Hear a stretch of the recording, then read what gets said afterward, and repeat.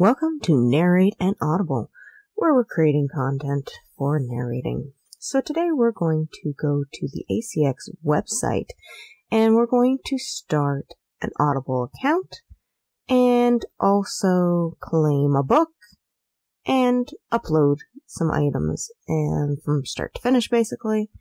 And then we'll see what message pops up into our message center and go from there. So the idea is that I have several of my books here. I put in my name, as you saw before, and you can claim your books. If you don't see a particular book there, don't get worried about it. You can always, um, oh, what's the phrase? you can uh, search specifically for that book. There we go. Uh, don't forget to put in your address. Click all the little boxes at the bottom. You might want to read the terms and conditions. Probably a good idea. I'm just not going to show you my address there. So we'll skip to the point where I've already put my address in and you have a lovely picture of Dean over top of it because you don't need to know where I live because it's the big wide internet. Um, so there are all sorts of uh, little links at the bottom where you can find um, training, important videos, and then over here, we get into our settings, whether or not you want emails or not. It's always a good idea to get their emails so that you're updated when things are approved, right? Uh, over here, we have your royalty tax information. For me as Canadian, it was super easy.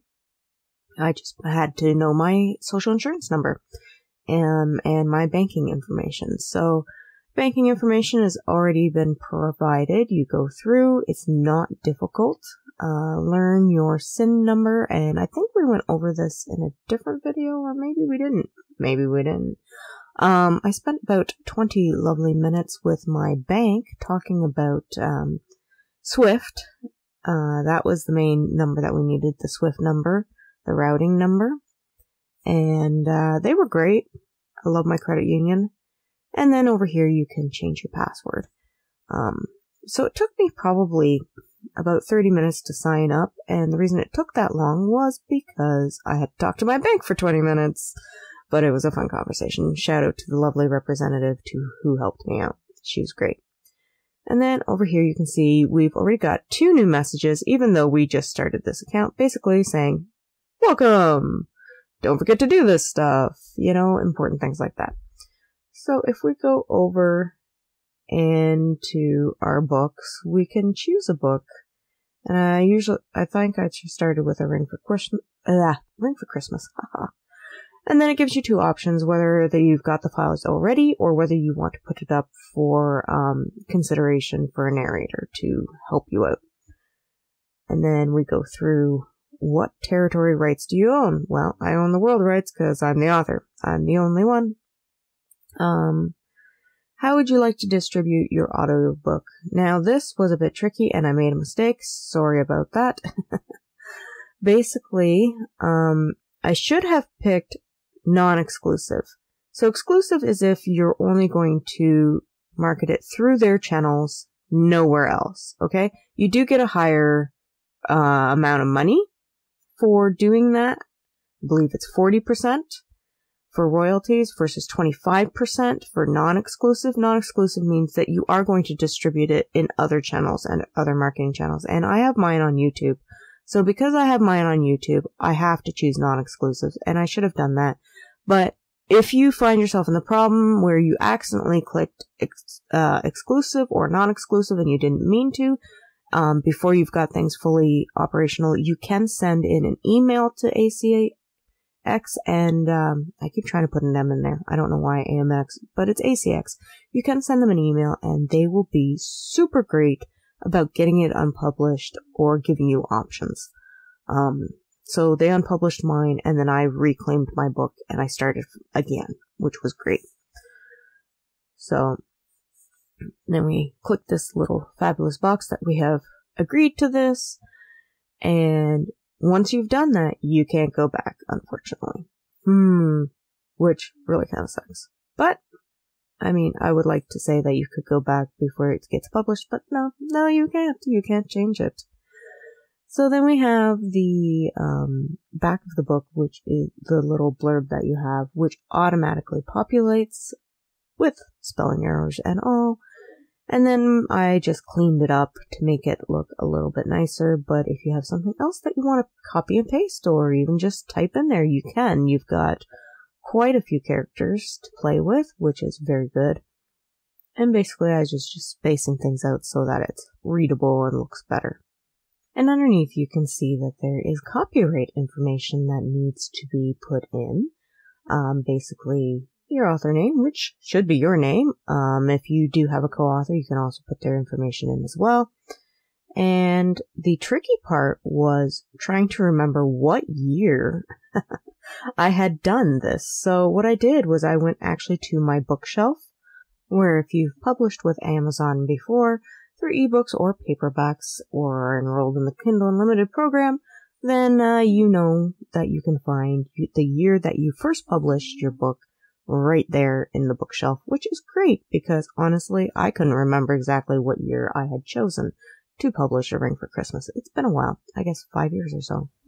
Now, obviously, we're going to put the current year that we're actually uploading uh, into the audiobook.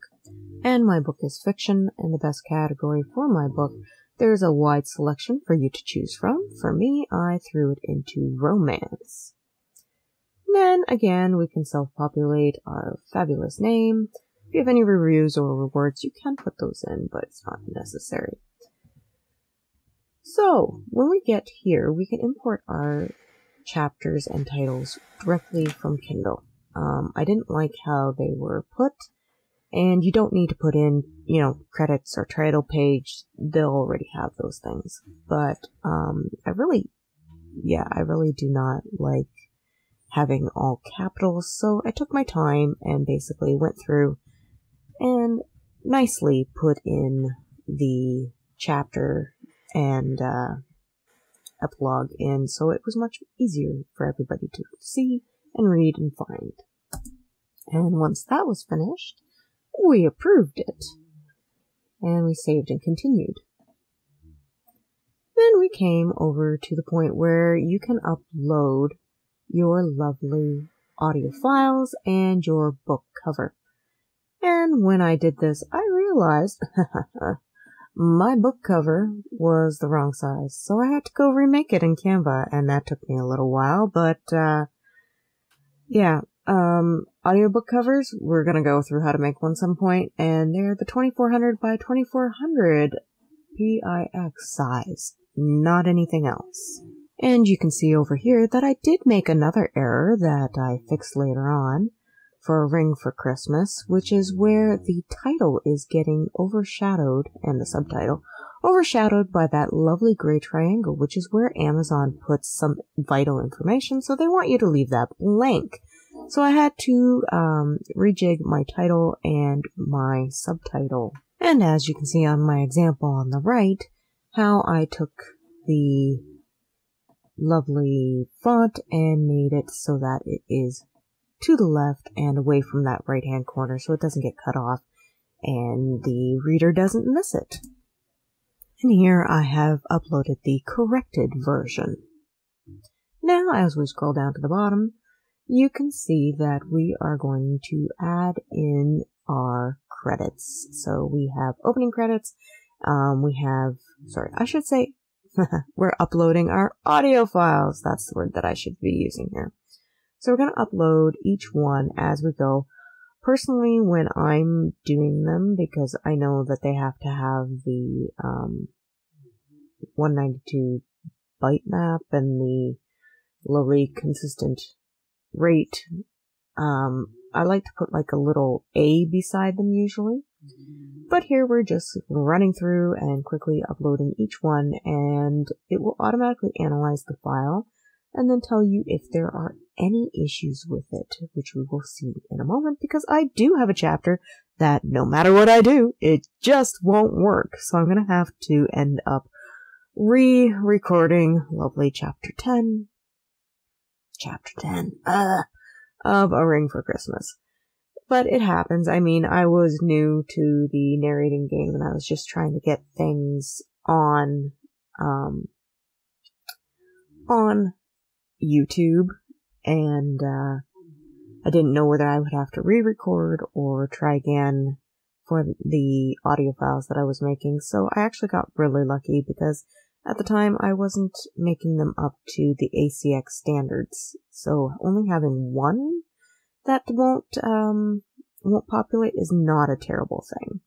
So we'll we'll just have to re-record it, take the time to do it, and go through them, and uh, then we will upload them and see what our fabulous, fabulous um, ACX community group thinks, and uh, if they let me publish it or not. Now, on the right hand side, you'll see that there's these lovely action buttons. And under the action buttons, you can actually re re-upload things and um, re re-upload. That's funny. You can re-upload your items if you happen to upload the wrong things. So don't think it's set in stone or anything like that. There are different actions that you can take which will help you to get this done. Now, as you see, you can tell that we have an issue uh, when you go to the audio analysis and you click on the chapter that has the issue, it will tell you what the problem is. In this case, he's telling me that I accidentally uploaded something twice, which I did do, and I will fix that. And also that there are issues with chapter 10. So let's fix the epilogue, which I accidentally uploaded the wrong thing. You can see, do we have their little button where we have different actions and we can upload again.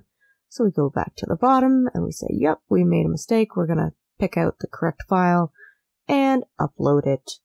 And it doesn't really take any time at all. This is in real time. I'm not fast forwarding anything. It, it's really actually very quick to get things uploaded. So that's the good news. Now we should be going back to see what's wrong with chapter 10. And so as we open it, we can see that the RMS value is incorrect. So that's a problem.